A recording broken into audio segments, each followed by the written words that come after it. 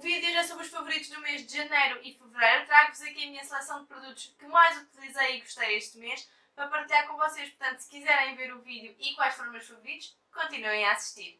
E o primeiro produto é este shampoo seco da Batiste. Eu comecei a utilizá-lo quando fui para Londres. Uh, descobri este produto na internet. Eu queria um produto que me resultasse para não estar sempre a lavar o cabelo, principalmente quando vamos de férias, que não queremos perder tempo com isso e descobri este. O meu cor cabeludo nunca ficou irritado com este produto. Uh, é bastante bom. Este cheiro é o meu favorito, eu não utilizo outro.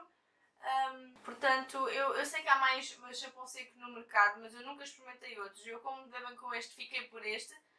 E nas lojas Ping Doce está à venda por volta de 4 euros. O próximo produto é esta máscara facial da L'Oreal. Esta é da argila vermelha, acho que existem mais duas a verde e a preta, mas eu não utilizei nenhuma delas, só utilizei esta e tem estado a dar super bem. Ela limpa e alisa os poros, uh, mas também esfolia a pele, não deixa a pele irritada e tem um cheiro super agradável. Eu tenho usado todas as semanas e a minha pele fica ótima depois de usar, portanto adoro esta máscara. O próximo produto é este corretor de olheiras aqui da Essence, vocês já o conhecem, portanto não me vou alongar sobre este produto. Uh, vocês sabem que eu adoro este, este corretor, uso todos os dias e ele é ótimo. Portanto, dado ao preço que é 3,89€, salvo erro, é um ótimo produto, portanto eu continuo a usar e tem sido os meus favoritos. O próximo produto vocês também conhecem bem, é esta máscara de pestanas da Essence, que é a Volume Stylist 18 horas. Eu continuo a usá-la, continuo a gostar muito dela. Um, para mim é a minha favorita, assim das mais baratas, portanto continuo a aconselhá-la. E como não podia faltar, o próximo produto é a minha Beauty Blender. Eu tenho utilizado esta esponja sempre. Uh, tenho outras esponjas também de maquilhagem, mas esta é a melhor que eu tenho. Não experimentei as outras cores uh, para saber as diferenças. De qualquer das maneiras, acho que se vocês gostam de espalhar a base com uma esponja, se vocês nunca experimentaram uma Beauty Blender, experimentem. Vão ver que é totalmente diferente e é muito mais fácil de aplicar, mais suave. Portanto, quem puder uh, comprar uma Beauty Blender, elas duram muito tempo. Tem que ter cuidado, é lavar para não espetar as unhas, que é para ela não rasgar, porque ao mesmo tempo ela também é sensível. Portanto, tirando isso, ela é fantástica. O próximo produto é esta paleta aqui de sombra de olhos da Zoiva. Esta é a Caramel Melange e vem com estas cores.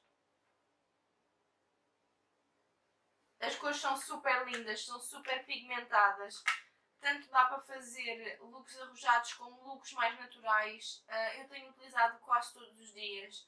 Vou deixar todos os links aqui embaixo para vocês poderem aceder um, e comprar se quiserem os produtos. O próximo produto é estes Glow Buster da Pixie. Eu já falei deles aqui no meu canal. Este é na cor White Pearl e este na Peach Gold. A única coisa aqui que difere é mesmo a cor deles. Este é mais clarinho e este é mais dourado. Eles são iluminadores líquidos, vocês podem utilizar misturados com a vossa base, podem utilizar antes da base, podem utilizar por cima da base como iluminador, enfim, vocês podem utilizar este produto como quiserem. Eu adoro o resultado que ele dá na pele, principalmente quando eu quero uma pele mais luminosa, visto que eu normalmente utilizo bases mais mate uh, e alta cobertura por causa das minhas imperfeições. E estes Glow Busters, como não para misturar, acaba por fazer a pele bastante luminosa e eu adoro. O próximo produto aqui é esta base da Kate Von D, é na cor 48, é uma base de alta cobertura, uh, não transfere, aqui diz que dura 24 horas, na minha pele não dura, eu tenho a pele bastante oleosa e ela dura-me de 8 a 10 horas, o que é bastante bom porque se eu depois retocar com um pó uh, translúcido ela fica perfeita. Portanto, eu gosto bastante desta base, tenho utilizado bastantes vezes. Um, só não aconselho a utilizar esta base que tem pele seca, porque quando tenho a pele um bocadinho mais seca, noto que ela acaba por ficar uh, eh, um, com marquinhas e eu não gosto disso. De qualquer das maneiras, para quem tem pele muito oleosa, aconselho vivamente. O próximo produto também é uma base, é esta aqui da Yves Saint Laurent, que é All Hours, e esta é na cor B20. Esta base também é uma base de alta cobertura, um, não tem óleo, ou seja, é oil free. Ela também dura, uh, acho, eu não sei quanto tempo é que eles dizem que ela dura, mas ela dura-me também cerca de 6 a 8 horas. Dura um pouco menos que a da Kate Von D, mas um, mas ela também não é tão mate como a outra e também se pode retocar durante o dia que ela fica perfeita. Portanto, estas duas de papéis oleosas eu aconselho, dou-me super bem com elas e sinceramente só não utilizo esta mais vezes para poupá-la, porque de resto uh, eu adoro e utilizaria todos os dias. E muito importante, elas não fazem com que as minhas borbulhas fiquem mais ativas, o que é muito bom. O próximo produto é este batom aqui da NYX. Eu nunca falei dele no meu canal. Um, de qualquer das maneiras, eu adoro este batom. É dos batom mais confortáveis que eu já experimentei. Este é um tom metálico e esta é na cor New Era. E ele tem esta cor assim. É esta cor aqui, é assim um tom metálico acastanhado e ele é super confortável, vocês podem comer que ele dura. Para mim é um dos melhores batons mate que andei no mercado, é estes da NYX, os Liquid Suede. Uh, portanto, aconselho, eu não sei quanto é que eles custam, mas eu deixo tudo aqui em baixo.